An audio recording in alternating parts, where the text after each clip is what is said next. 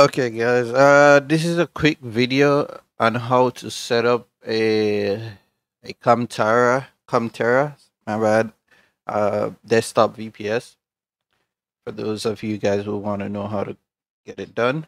So after like clicking the link in this video description, or if you found it on any other, you know, my past videos, you just hit sign up you hit sign up here, free sign up here at the top right, or you can go ahead and hit that one. But because I have an account already, I'll just log in. Now, after creating your account, what you want to do, it's quite simple actually. You head to cloud and then you hit create new desktop. Wait for it to load up. You select uh, where you want this uh, VPS to be held. So if it's New York, you select New York. If it's United, uh, if it's Texas, you select Texas.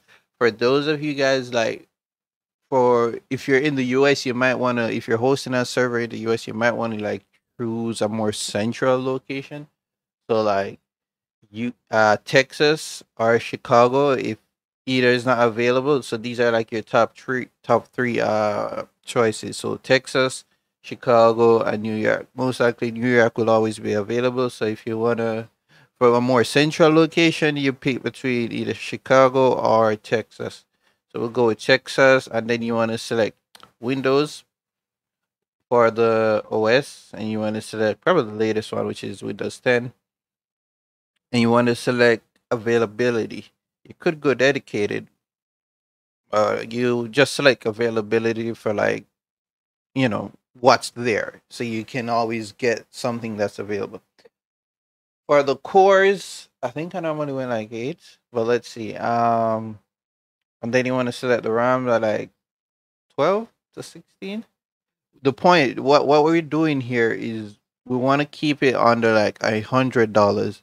The price should be on a hundred dollars, so that that's how you're eligible for the first 30 days free. If it's under a hundred dollars, then it's fine. And I'm gonna select like 150 GB because you don't really need more than that to be honest. Can go 12 gigs of RAM. Yeah, eight cores availability. And that's it. And you fill out the, you know, the other information that is needed, the password, the password for the VPS. So this is what you use to sign into on the VPS using remote desktop.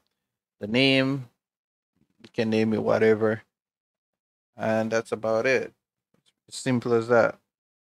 Once you make sure it's on billing like monthly to be billed monthly, and you're good. It's quite as simple as that. It's not a hard thing. It's not a hard process. Very simple, and I prefer. I I recommend this uh more than to use like what's it called zap hosting and what's the other one some dumbass shit Reason being, it's you have more control over your server when you do it like this instead of like you just transferring files, which takes up time, and it's trust me, it's useless. It's a waste of your time. It's a waste of all your effort. Your that's you don't want to do all that.